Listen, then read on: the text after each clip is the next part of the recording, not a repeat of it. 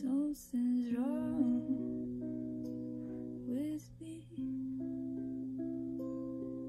I'm homesick for LA in the summer of my life.